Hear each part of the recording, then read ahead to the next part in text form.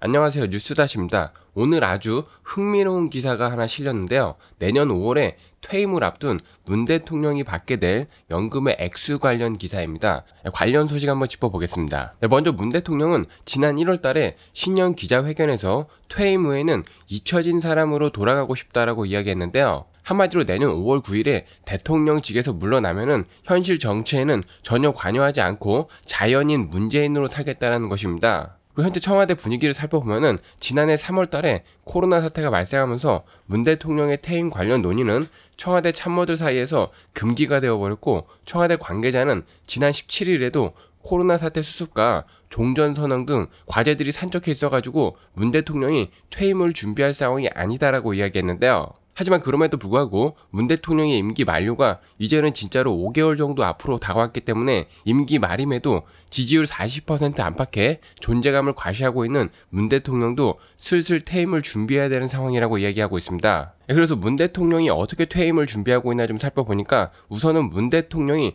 퇴임을 할 경우에는 매월 1,400만 원 정도의 연금을 받을 전망이고 정부 측에서는 전직 대통령 예우에 관한 법률에 따라 가지고 전직 대통령에게 지급 당시 대통령 보수 연액의 95%를 지급하게 되어 있으며 보수 연액은 월 급여의 8.85배라고 하는데요. 현재 문 대통령의 내년 연봉은 약 2억 3,822만 원으로 알려져 있고 2019년 이후에 4년째 동결이 되어 있으며 이에 따른 문 대통령의 보수 연액은 약 1억 7,556만 원으로서 해당 금액의 95%인 1억 660만 원이 연간 연금액으로 정해질 전망이라고 전하고 있습니다. 예, 그리고 문 대통령은 연금을 받는 유일한 전직 대통령이 될 것이다라는 전망이 나오고 있는데 현재 생존해 있는 전직 대통령 중에서 연금을 받고 있는 사람은 아무도 없는 상황이고 재직 중에 탄핵 결정으로 퇴임이 되거나 금고 이상의 형이 확정이 되면은 연금을 포함을 해가지고 전직 대통령에 대한 예우 대부분을 받지 못하기 때문인데요. 그리고 실제로 해당 규정에 따라 가지고 전두환, 노태우, 이명박, 박근혜 전 대통령은 모두 다 전직 대통령 예우 대상에서 제외가 되었고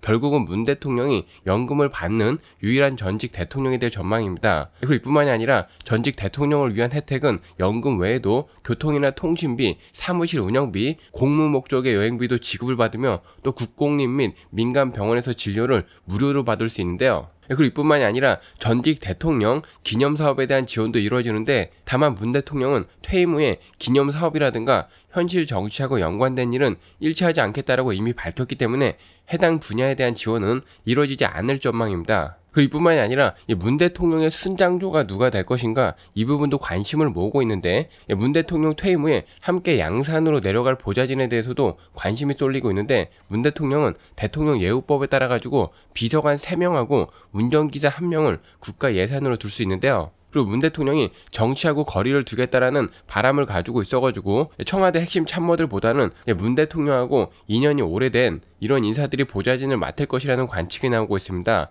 실제로 노 전 대통령의 마지막 비서관이었던 김경수 전 경남지사하고 비슷하게 문 대통령하고 친밀한 인물이 발탁될 가능성이 높다라고 전망이 나오고 있는데요. 그래서 거론되는 인물을 보니까 문 대통령을 가까이에서 보좌해 왔었던 신지연 청와대 제1부속 비서관이라든가 문 대통령의 부산 인맥인 김외숙 인사수석 등이 순장조로 거론이 되고 있으며 두 사람의 참모 모두 다 김정숙 여사와도 인연이 있고 향후의 정치할 의향이 없는 것으로 알려져 있어가지고 예, 문재인 순장조 영순위로 지금 거론이 되고 있습니다. 이에 대해서 청와대 관계자는 내년 대선 이후에나 구체적으로 인선이 논의될 것이라고 이야기하고 있는데요. 예, 그리고 운전기사로는 문 대통령이 2012년 국회의원에 당선됐을 때부터 운전을 맡아왔었던 최모 경호관이 낙점될 가능성이 크다라고 전하고 있습니다. 아무튼 뭐 여기까지 소식을 보면은 아마도 많은 분들이 아니 임기 내내 국정 운영을 이렇게 하고 민생을 이렇게 망쳐놓고 저런 액수의 연금을 받고 저 많은 혜택을 누린다는 말인가? 뭐 이런 생각을 많이 하시겠지만은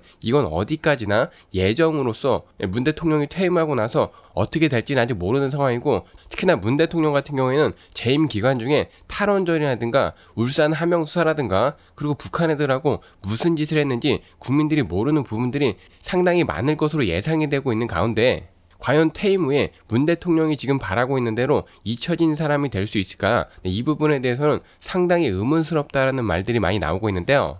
과연 문 대통령이 연금을 받는 유일한 전직 대통령으로 편안한 노후를 보낼 수 있을 것인가는 내년 대선 결과를 보면은 알 수 있게 되지 않을까 싶습니다. 이번 소식은 여기까지 하겠고요. 여러분의 의견은 어떠신가요?